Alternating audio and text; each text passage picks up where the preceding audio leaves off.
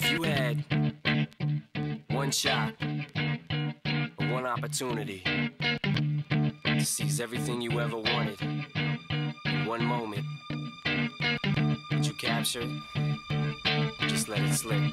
Yo.